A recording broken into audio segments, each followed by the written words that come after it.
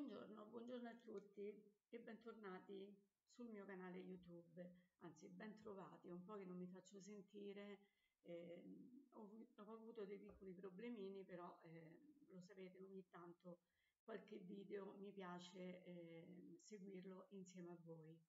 Bene, adesso andiamo a vedere questo video di questa pagnotta.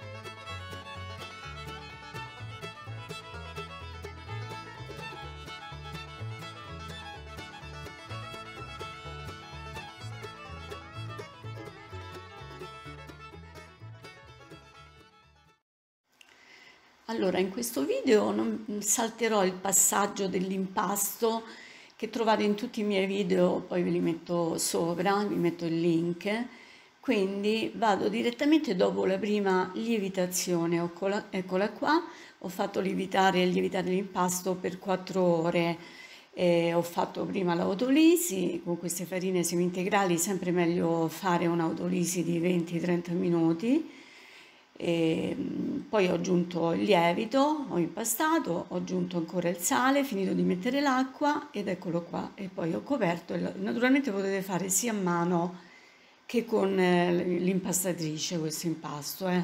scegliete voi come farlo.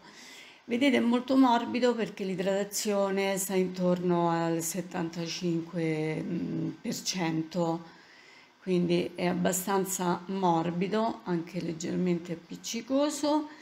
E mm, non farò le pieghe come mm, le pieghe di rinforzo, farò proprio un pane così semplice semplice, casareccio.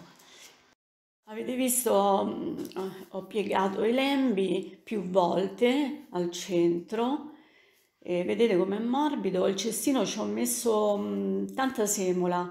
Questo cestino non è molto adatto, se volete la pagnotta un pochino più alta ce ne vuole uno di quelli un po' stretti, questo rimane un po' largo, quindi vi anticipo che la pagnotta qui verrà bassa, anche perché a noi piace così, non piace quel, quel pane tanto mollicoso, quindi sicuramente eh, avete visto si allarga e si allargherà anche la pagnotta poi in lievitazione copro e lascio lievitare, io eh, lascio a temperatura ambiente perché fa freddissimo, eh, 5 ore presso poco, anche 6, seguite la lievitazione, eh, guardate con il dito, vedete, questo è pronto da infornare, se tornava velocemente torna piano piano, vedete, quindi è pronto.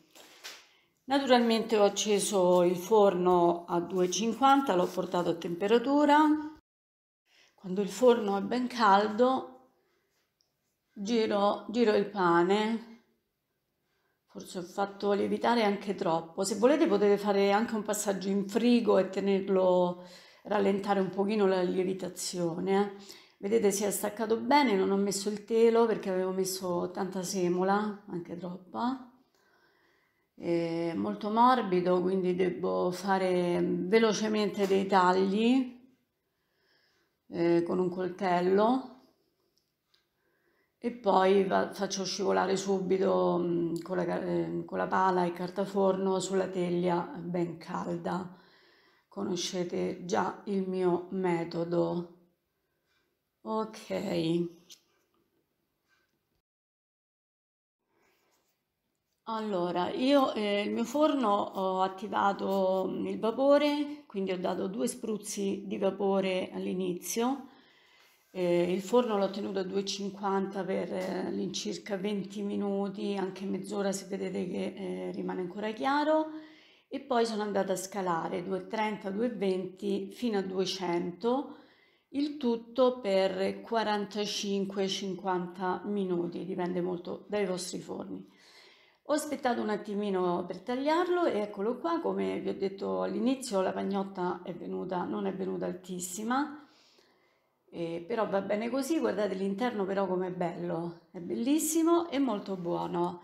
Eh, bene amici, vi ringrazio della visione, vi invito a lasciare un like, a commentare e a condividere il video. Ciao a tutti e ci vediamo prossimamente. Ciao ciao!